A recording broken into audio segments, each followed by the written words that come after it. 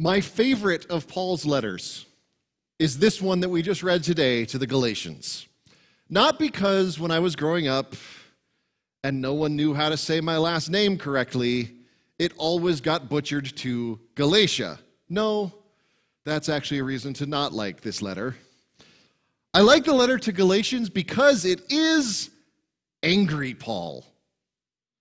Paul is not happy with the Galatian people. He opens the letter after the, the pleasantries that you have to do, where you say who you are and who the people are, and he does his grace and peace to you through our Lord Jesus Christ. He opens the very first thing he says I am astonished that you are so quickly deserting the one who called you by the grace of Christ and are turning to a different gospel, which is really no gospel at all. Isn't that a great opening line? You heathens, is the short version of what he said. So he's writing this thing to a church. Usually he saves that bit for like the middle of the letter. He's, you know, in the other ones, he starts out with like, oh, you guys are doing so great. I give thanks to you, to God for you all the time. You're just wonderful. You just got a couple things you need to do better on. Nope, not in Galatians. You guys are wrong. And it gets better. Because after a little while, he says, Oh, you foolish Galatians, who has witched you? And then a bit later, there's a little infamous part in Galatians 5:12 that you can just go ahead and look up on your own because we don't. Just know that it's rather infamous. Galatians 5:12. You know, just just just remember that one. So you see, the church in Galatia is struggling with the very same issue that we talked about last week. Do you have to be Jewish to be Christian? Now, after reading in Acts chapter 15, we kind of thought that was settled. The leaders of the church met together, they wrote a letter, they sent the letter out, and that should have just been that. But apparently, the church in Galatia didn't get the memo because this is what Paul's letter is entirely about. He's writing even with the same fervor that he used to use to persecute the church, only now he's using it to further the message of Christ. So he writes this letter to the church in Galatia. But by the way, how many of you know where Galatia is? Have any idea? A couple of you, maybe? So it's a, a region in central Turkey that was originally settled by Spanish Celts, who are called Gauls, which is why it's called Galatia. So it's the people from Gaul, which is now Spain, who went all the way over to Turkey and settled there until it got taken over by the Greeks and then the Romans. And by, by about the first century BC, they were pretty well Roman, but they still spoke a variation on the Celtic language that they spoke when they got there. Um, so you can guess that in a place that was in Turkey, that was very Greek looking, that was settled by people from Spain, you probably would have a Jewish minority in this town. And if you had to be a Jew before you were a Christian, you could see why this would cause problems in a church in this kind of region.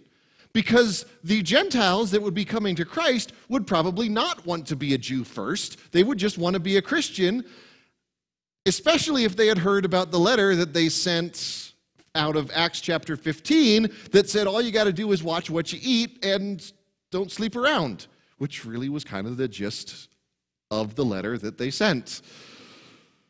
So, Paul, when he heard about this, he writes this angry letter to combat what he thought was their complete and utter stupidity. So here Paul goes, presenting his argument over why it is perfectly acceptable to be a Gentile Christian. He first opens by saying, I preach to you a gospel that is quite different from the not at all a gospel that y'all are living by. It's not a gospel I made up, it's a gospel that I got straight from Jesus, the one you claim to be following. And so he starts telling his story. He starts talking about how he persecuted the church, how he was extremely jealous or zealous in his Judaism, But God reached out to him and told him to preach to the Gentiles, which he did without waiting and checking and seeing if it was okay. He just went and preached to the Gentiles. And then when he went to pay his respects to Peter and James, it, everybody said, Oh, yeah, you're doing great. Carry on what you're doing. Then he recounts his experience at the council in Jerusalem that we talked about last week. And then he talks about this incident that happened when he came to the town of Antioch. And he was in Antioch, and Peter was in Antioch, and Peter started to act a little bit more Jewish than Christian. And he started only hanging out with the people who were Jewish. And he started eating and behaving like the people who were Jewish. This is Peter, by the way. Peter, the one who really should know better. Peter, the one who had a vision and was sent to a Roman centurion to preach the gospel to him. Peter, who stood up in the council in Jerusalem that we talked about last week and said, I had this vision. I went to preach to some Gentiles. They received the Holy Spirit. They must be Christian. Because if you receive the Holy Spirit, it's probably a pretty good bet that someone is a Christian. That's just how that works. So, so Paul sees Peter acting this way. Paul sees Peter drawing his friends into this. And he goes right up to Peter, gets right in his face, and says, Dude. And actually, the way he phrases this is beautiful. He says, and I'm, I'm going to say it the way the Bible records it, and then I'm going to say it the way he probably said it. We who are Jews by birth and not Gentile sinners know that a man is not justified by observing the law, but by faith in Jesus Christ. What he's really saying is, dude, Peter, the people you're treating like sinners are better Christians than you. Shape up. You're an apostle, do better. It's, he, it's, I mean, it's, it's just this dig, and he twists the knife even. Because he's telling Peter, you remember Peter. Peter, who always wanted to be the one that was most passionately following Jesus. Peter, the one who first preached to Gentiles and thought not and nobody thought it was a big deal. Peter, who stood up on the day of Pentecost and gave this great sermon that converted 3,000 people to the church. And Peter's the one who is wrong.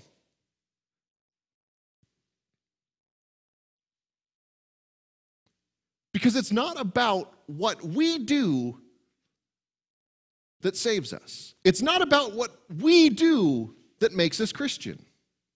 It's about what Jesus has already done. And that's the whole point that Paul is trying to make here. Because the more that people argued over do you have to be Jewish before you become a Christian, it really came down to how much are we going to stomp on what Christ did? Because if we honestly are saying, Jesus died for me and rose again that I might live, and then we try to add anything to that, and we add things like, but you have to do this first. But you have to do this first. There's some Lutheran writers who I, I, I almost get in fights with because they sometimes try to make it almost say, Jesus died for you so that you don't have to do anything except be baptized. I'm like, no, you can't go there. Because if Jesus died for us so that we are no longer responsible for our own salvation, but He is, we can't add a but. We can't add a, but you have to be baptized. We can't add a, but you have to be circumcised, like the people in Galatia were trying to do. There is no but. Jesus died for you. Done. This was the thing that kicked off Luther's realization that there are no buts after Jesus' death and resurrection. Because if we think we can earn our salvation in any other way than trusting in God for to have all trusting in God to have already done it for us, we're only going to make things worse. Because our salvation, thanks to Jesus, is no longer about us. Where before you had to follow the law. And as we've been noticing in adult Sunday school, it's not enough to follow the law a little bit. You have to follow the whole law. All 619 or 620, however, depending on your count, of these laws, which are eventually you're going to break one.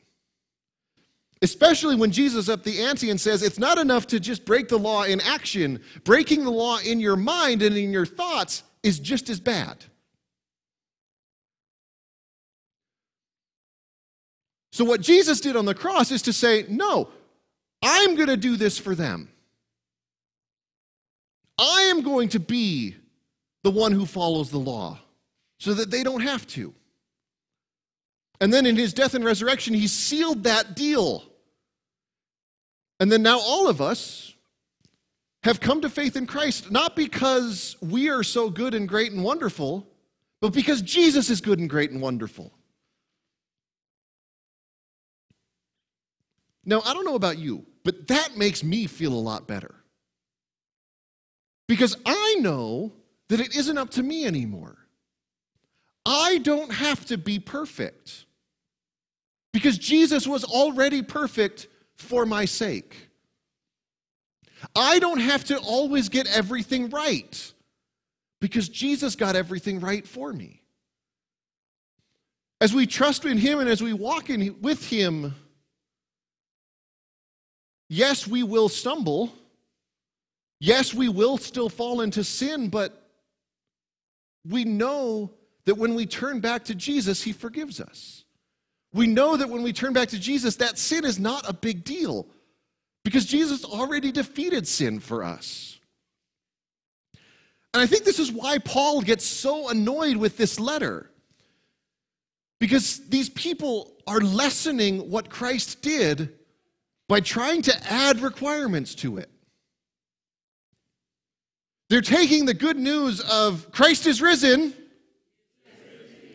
death is beaten, and God wins, and they're turning that message into yes, all that is true, but you still have to do this, this, this, this, this, and this, and this, and this, and the list of this is always gets longer.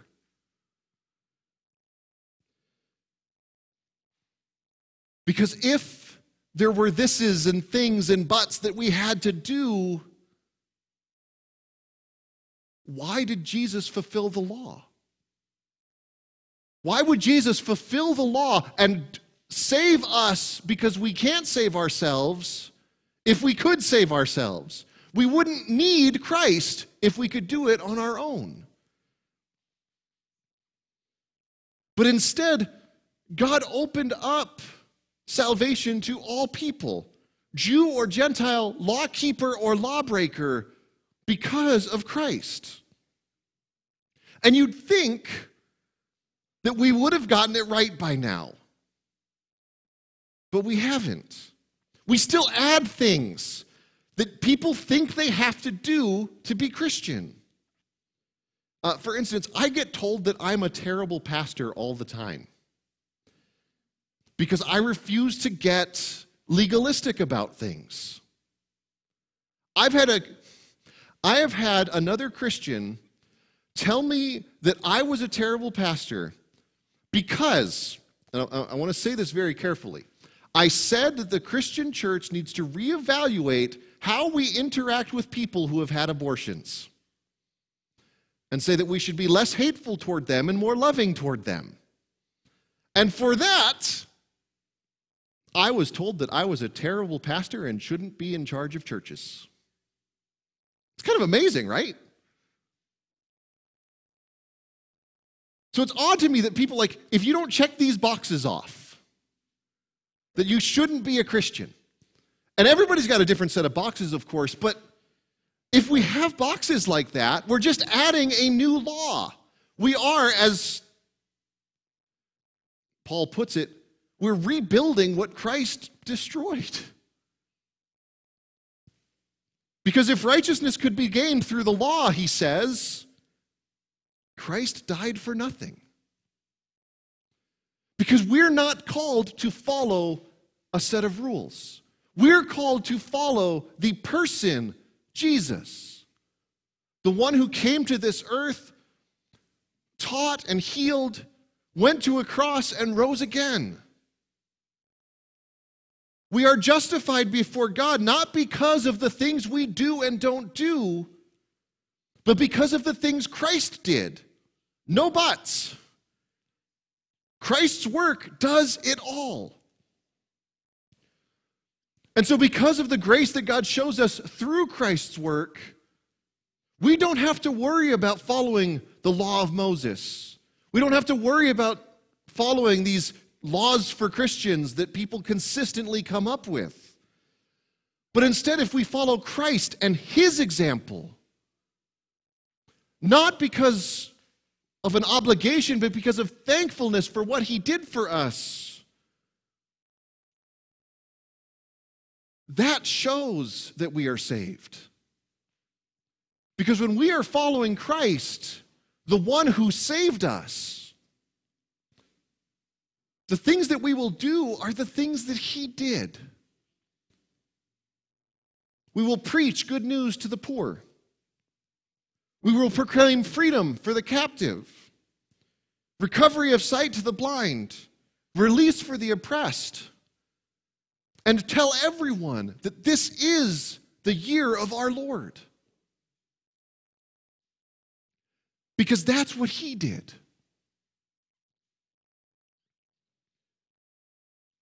Because all we do as Christians is to seek to emulate the one who is perfect and trust that when we're not perfect, that when we turn back to him, we will be forgiven. Because God wants us to be saved. He wants all people to be saved. And when we look only to Jesus for our salvation, that's when it happens.